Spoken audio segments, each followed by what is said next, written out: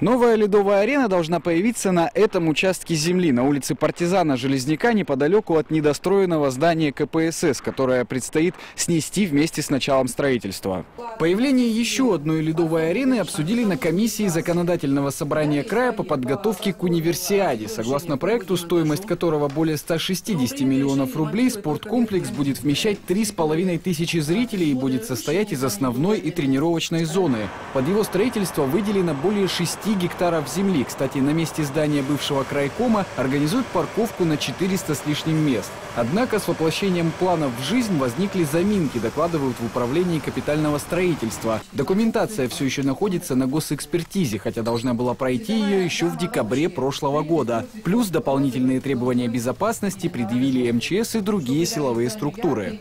Также по требованиям силовых структур необходимо э, согласовать и проектную документацию. Все замечания, которые выставлялись в ходе предоставления рассмотрения силовым структурам, э, какие замечания были выставлены, Значит, все замечания на сегодняшний день учтены.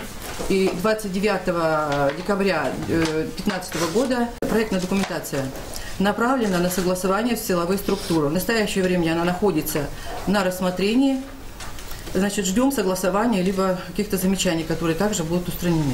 Такой ситуацией депутаты остались недовольны, однако заверили, говорить о том, что сроки сдачи арены срываются, нет оснований.